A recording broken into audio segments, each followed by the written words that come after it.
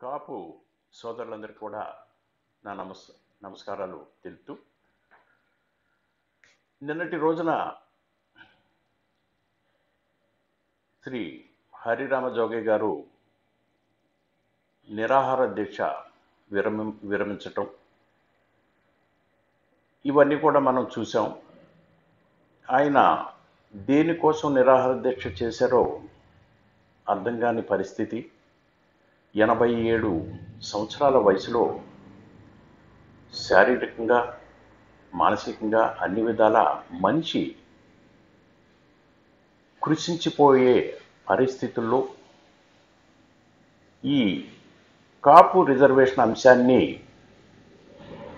తీసుకొని ఆయన ఈ రిజర్వేషన్ ఇవ్వకపోతే ఆమరణ నిరాహార దీక్ష చేస్తానని ప్రకటించడం ధర్మిల. అక్కడి నుంచి ఆయన్ని హాస్పిటల్లో పెట్టి నిరాహార దీక్ష విరమింప చేయటం ఇవన్నీ కూడా చాలా హాస్యాస్పదంగా కనపడింది. ఎందుకంటే ఆయన చేస్తున్నటువంటి ఈడబ్ల్యూఎస్ రిజర్వేషన్ ఐదు శాతం కల్పించాలని చేస్తున్నటువంటి ఆ నిరాహార దీక్ష నిజానికి ఈ కాపు సామాజిక వర్గానికి ఎటువంటి ప్రయోజనం చేకూర్చకపోగా అరవై సంవత్సరాల కాపు బీసీ రిజర్వేషన్ పోరాటానికి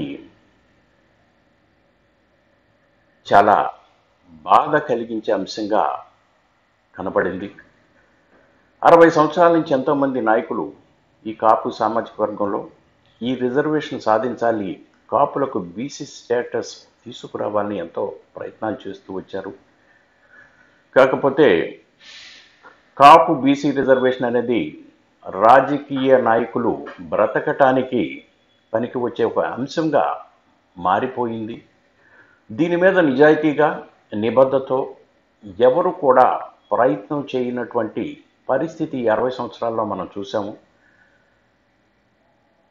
మొన్నటికి మొన్న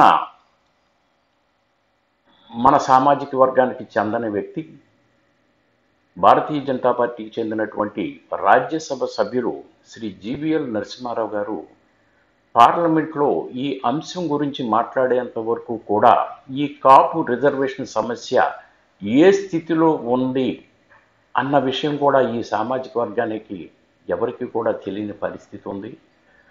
అటువంటి స్థితిలో ఆయన ఈ సామాజిక వర్గ స్థితిగతుల గురించి వీటి గురించి పార్లమెంట్లో చక్కగా ప్రజెంట్ చేసి ఆ తర్వాత స్టాట్ బీసీ స్టేటస్ ఏ రూపంలో ఉన్నది ఎక్కడ ఉన్నది ఇవన్నీ బయటకు తీసిన ధర్మిళ చివరిలో ఒక వారం రోజుల క్రితం ఈడబ్ల్యూఎస్ స్టేటస్ పరిస్థితి ఏమిటి? బీసీ రిజర్వేషన్ స్టేటస్ పరిస్థితి ఏమిటి అని ప్రశ్నించిన ధర్మిళ మళ్ళీ మూల పడిపోయినటువంటి ఈ కాపు నాయకులు కొంతమంది మళ్ళీ తెర మీదకి రావటం అనేది చాలా బాధ కలిగించింది. ఎందుకంటే అరవై సంవత్సరాల వీళ్ళ కాలంలో వీళ్ళు ఎన్నో పదవులు అనుభవించారు ఎన్నో ఉన్నత స్థానాలు అధిరోహించారు. కానీ వీళ్ళ పదవులు అనుభవిస్తున్నటువంటి కాలంలో ఎప్పుడు కూడా ఈ కాపులకు న్యాయం చేయాలి. ఈ కాపు సామాజిక వర్గం బీసీ స్టేటస్ ఎప్పటి నుంచో అడుగుతుంది కాబట్టి కనీసం ఈ బీసీ స్టేటస్ అన్న మనం తీసుకువస్తే ఈ జాతికి న్యాయం చేసిన వాళ్ళం అవుతామనే భావన కూడా లేకుండా వీళ్ళ పదవులన్నీ కూడా అనుభవించి వీళ్ళ జీవితకాలం చివరి దశలో ఉన్నప్పుడు ఈ విధంగా మేము నిరాహార దీక్ష చేస్తాము. ఈ సామాజిక వర్గానికి మాకు రిజర్వే రిజర్వేషను కల్పించండి అనే ఒక కొత్త నినాదంతో ఈ రోజున ఇటువంటి కార్యక్రమం చేపట్టడం అనేది ఎందుకనో కాపు సామాజిక వర్గం పెద్దగా దీన్ని ఆదరించినట్లు కనపడలేదు. రాష్ట్రంలో ఎక్కడ కూడా పెద్దగా స్పందన కూడా కనపడలేదు. ఎందుకంటే ఇలాంటివి ఎన్నో చూసాం గతంలో. కాపులు ఏదొచ్చినా రోడ్డు ఎక్కుతారనే ఒక అపప్రదని మీద వేసుకున్నాం తప్ప ఒక కన్స్ట్రక్టివ్గా ఏదన్నా సాధించాలంటే రాజ్యాంగబద్ధమైనటువంటి విధానాల్లో వెళ్ళకుండా ఏదో నాలుగు రోజులు వాళ్ళ రాజకీయ లబ్ధి కోసం హడావుడి చేయటం ఈ కాపు అమాయక కాపు సామాజిక వర్గాన్నంతా వాడుకోవటం మీటింగులు పెట్టాం రమ్మంటాం నిరాహార దీక్షలు పెట్టాం రమ్మంటాం రాస్తారోకులు చేస్తున్నాం రమ్మంటాం రోడ్లు బంద్ చేస్తున్నాం రమ్మంటాం. ఇలాంటి అసాంఘిక చర్యలన్నీ కూడా ఈ నాయకులు ఈ జాతిని ప్రేరేపిస్తూ ఈ రోజున ఈ రాష్ట్రంలో ఈ జాతిని అపఖ్యాతి పాలు చేశారు. కానీ వాస్తవానికి కాపు అనేవాడు చాలా మంచివాడు చాలా సౌమ్యుడు సమాజంలో అందరూ కావాలనుకునే వ్యక్తి సమాజంలో అందరినీ కూడా ప్రేమించే వ్యక్తి. అలాంటిది ఇటువంటి జాతిని వీళ్ళు తమ రాజకీయం కోసం వాడుకోవటం రకరకాల విన్యాసాలు చేయటం ఇవన్నీ కూడా చాలా దురదృష్టకరం. అసలు వీళ్ళకి ఈడబ్ల్యూఎస్ అంటే ఏమిటి? కాపు బీసీ రిజర్వేషన్ అంటే ఏమిటో కూడా తెలియని పరిస్థితుల్లో వీళ్ళు వీళ్ళ రాజకీయం కోసం ఏదో ఒకటి చేసి వీళ్ళ రాజకీయ మైలేజీని పెంచుకుందాం. వీళ్ళకి రాబోయే ఎలక్షన్లో వీళ్ళ రాజకీయ ప్రయోజనాలు వాళ్ళకు కానీ వాళ్ళని నమ్ముకున్న వాళ్ళకి కానీ వాళ్ళ వారసులకు కానీ తెచ్చుకుందామనే ప్రయత్నంలో చేస్తున్నటువంటి ఈ విధానం ఒకటి. అసలు ఈడబ్ల్యూఎస్ అంటే ఎకనామికల్లీ వీకర్ సెక్షన్ అని చాలా క్లియర్గా కేంద్ర ప్రభుత్వం నిర్వచించడం జరిగింది. ఎకనామికలీ వీకర్ సెక్షన్లో ఈ రాష్ట్రంలో ఇరవై రెండు కులాలు ఉన్నాయి. ఈ ఇరవై రెండు కులాలకి ఈ పది శాతంలో పంచితే వచ్చేది ఎంత వాటా? ఇంచుమించుగా పాయింట్ ఫోర్ పర్సెంట్ ఒక్కొక్కరికి వాటా వస్తుంది. అటువంటి స్థితిలో వీళ్ళు మా కాపులకి ఐదు పర్సెంట్ ఈడబ్ల్యూఎస్లో ఇమ్మని అడగటం ఏమిటి? అసలు ఈడబ్ల్యూఎస్ అంటేనే ఎకనామికల్లీ వీకర్ సెక్షన్ అని చాలా క్లియర్గా కేంద్ర కేంద్ర ప్రభుత్వం ఇచ్చినటువంటి ఆ స్కీమ్లో చాలా క్లియర్గా ఉంది. అటువంటిది ఒక వర్గానికి సగభాగం ఇమ్మని లేకపోతే ఇంకో భాగం ఇమ్మని అడగటంలో అసలు అర్థం ఏంటి?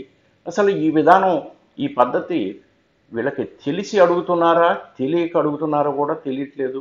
ఎందుకంటే ఇది రేపు పొద్దున కోర్టులో మనకు ఫైవ్ పర్సెంట్ ఇచ్చిన త్రీ పర్సెంట్ ఇచ్చిన టూ పర్సెంట్ ఇచ్చినా కూడా కోర్టులో అదర్ కమ్యూనిటీస్ కోర్టులో వేస్తే ఖచ్చితంగా ఇది వీగిపోతుంది. ఈ కేసుని ఈ రిజర్వేషన్ కొట్టు వేస్తారు. ఇన్ని తెలిసి ఉండి కూడా వీళ్ళకి తెలుసా? తెలియదా? అదొక ప్రశ్న అసలు. అదొక ప్రశ్నార్థకం. వీళ్ళు దీని మీద క్షుణ్ణంగా అధ్యయనం చేశారో లేదో తెలియదు ఏ కోర్టుకు వెళ్ళినా మొట్టమొదటి అడిగే ప్రశ్న E W what is the meaning of EWS అని అడుగుతారు. ఎకనామికల్లీ వీకర్ సెక్షన్ అంటే మీరు ఒక్కళ్ళైనా మీ రాష్ట్రంలో వీకర్ సెక్షన్ అని అడుగుతారు.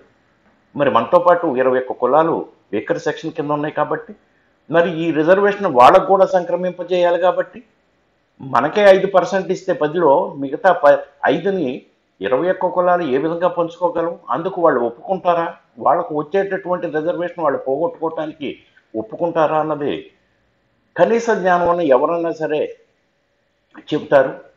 కేవలం వీళ్ళ రాజకీయ మైలేజ్ కోసం వీళ్ళు ఏదో హడావుడి చేసేసి వీళ్ళ రాజకీయాన్ని మళ్ళీ తెర మీదకి తీసుకురావటం కోసం ఇటువంటి ప్రయత్నాలు చేస్తున్నారు కానీ అరవై సంవత్సరాల నుంచి ఎంతోమంది పోరాడి ఈ కాపు బీసీ రిజర్వేషన్ తీసుకురావాలి. ఈ సామాజిక వర్గానికి సమాజంలో మళ్ళీ అందరితో పాటు సమన్యాయం కలగాలనే భావంతో ఎన్నో ప్రయత్నాలు చేస్తున్నటువంటి ఆ ప్రయత్నాన్ని వీళ్ళ స్వార్థం కోసం వీళ్ళ రాజకీయం కోసం ఈనాడు దాన్ని తొంగలో తొక్కి ఈ ఈడబ్ల్యూఎస్ అనే దాన్ని పట్టుకొని వీళ్ళు మళ్ళీ కొత్త డ్రామా ఆడుతున్నారు కాబట్టి ఇది కాపు ఎవ సమాజానికి కాపు సోదరులకు ఈ కాపులకు సంబంధించిన ఎటువంటి అంశాల్లో కూడా ఎవరికి కూడా సంబంధం లేదు. వీళ్ళందరూ కూడా వాళ్ళ వాళ్ళ రాజకీయానికి కాపు సామాజిక వర్గాన్ని విడదీస్తున్నారు తప్ప కాపు సోదరులందరూ కూడా ఈ రోజున చైతన్యవంతులయ్యారు. ప్రతి ఒక్కళ్ళు కూడా దీన్ని అబ్జర్వ్ చేశారు. దాని నిదర్శనమే ఆయన చేసిన నిరాహార దీక్షకి రాష్ట్ర వ్యాప్తంగా ఎటువంటి స్పందన రాకపోవటం. ఏదో కొద్ది మందిని పెట్టుకొని ఆయన మంది మాగతలను పెట్టుకొని ఆయన ఏదో చేసుకొని ఇంటికి వెళ్ళిపోయాడు కానీ ఎటువంటి ప్రయోజనం దానివల్ల కలగలేదు. మరి ఎవరో చెప్పింది చెప్పారు కాబట్టి తర్వాత కార్యక్రమం హైకోర్టులో దీన్ని వేస్తామనే ఒక హాస్యాస్పదమైనటువంటి స్టేట్మెంట్ ఇచ్చి నిమ్మరసం దాగి ఆయన ఇంటికి వెళ్ళిపోయారు కానీ కోర్టుల్లో వేస్తే నిలబడే అంశమే కాదు ఇది. కాబట్టి ఇప్పటికైనా మీరు జాతిని ఇంకా మోసం చేయటం మానండి. ఈ జాతి ఉన్నతి కోసం ప్రయత్నం చేయండి.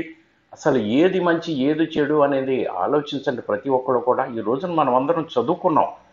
రాజ్యాంగబద్ధంగా ఏదైనా సరే రాజ్యాంగబద్ధంగా లీగల్గా వెళ్ళాలి తప్ప ఎవడో ముష్టి వేస్తే తీసుకునే పరిస్థితి కాదు. ఎవడో దానం చేస్తే తీసుకునే పరిస్థితి కాదు.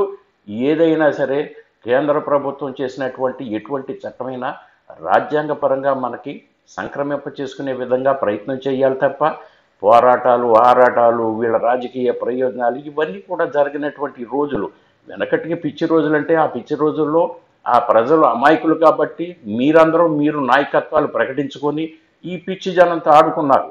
అంతేగాని ఈ రోజుని కాపు సామాజిక వర్గాన్ని ఆడుకోవటానికి కానీ ప్రయోజ ప్రభావితం చేసే పరిస్థితి కానీ మీలో ఈ రాష్ట్రంలో ఉన్న నాయకులు ఎవరికి కూడా లేదని సందర్భంగా తెలియజేస్తున్నాను.